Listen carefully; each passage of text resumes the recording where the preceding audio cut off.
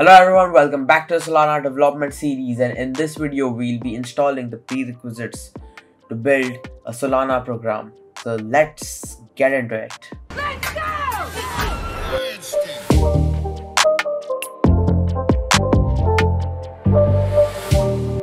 I've divided this video into mini parts. So if you have installed certain things like Rust, Solana, you can just skip over whatever you have not installed. So now I'll start installing Rust. So these are the commands. We'll first install that. And this will now install Rust 1. This will take up to one minute. We'll be done by then. Congrats, we have now successfully installed Rust on our local machine. Next, we'll install Solana. I'll copy it again.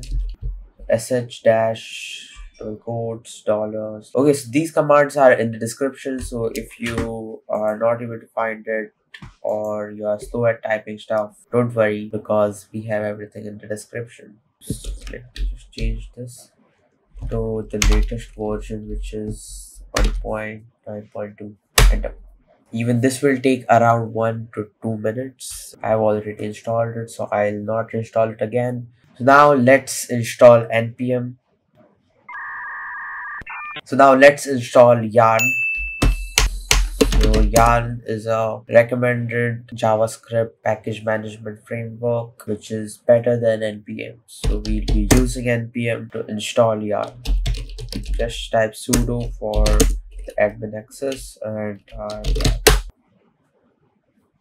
Congrats, we have successfully installed Yarn on our local machine. So this is the final part. We'll be installing Anchor and our development environment will be completely done. Install cargo install dash dash git. This link is in the description and even this command is in the description so you can just copy it and paste it here. Tag this locked done.